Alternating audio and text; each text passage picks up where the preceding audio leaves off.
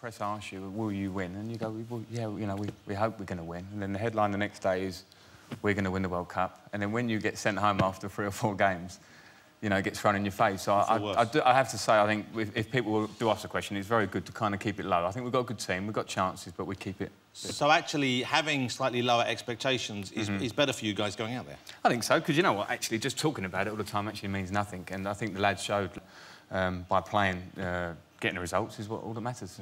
Let's talk about the uh, the new manager. Yes. Okay, because we have, and, and, not everyone knows this perhaps, but Harry Redknapp, who's here this evening, is your uncle. Yes.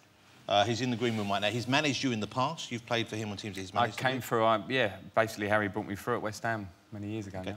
So when they were looking for the manager, it seemed to me, everyone seemed to think Harry was going to get the job. Mm -hmm. Were you excited about the, the thought of working with him again in that capacity? Uh, anyone who works with family will tell you the same thing. Uh, father, sons, uncles, nephews and that stuff. And it brings up a lot of uh, complications, probably. And we had a few at West Ham when we were younger. And um, there would have been a major one with Harry getting the job, probably with us, because the minute you're in a team with an, another manager is fine. When it's your uncle that's picking you, then, you, you know, people say, ah, because your uncle's manager. People think it's preferential treatment. They do, they do. And not to say Harry would have been, wouldn't have been a great England manager. I believe he would have been. But, um, yeah, certainly on a personal note, it would have been difficult. Listen, we would have got on with it and I would have tried to play my best and see if I got picked.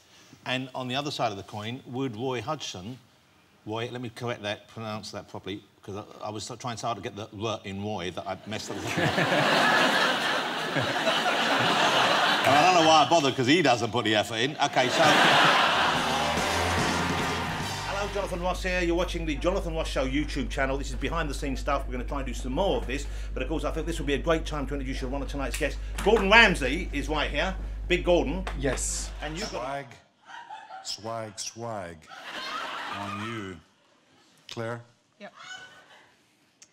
Chilling by